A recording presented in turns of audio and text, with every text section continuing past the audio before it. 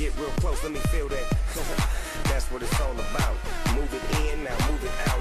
Put your face right next to mine.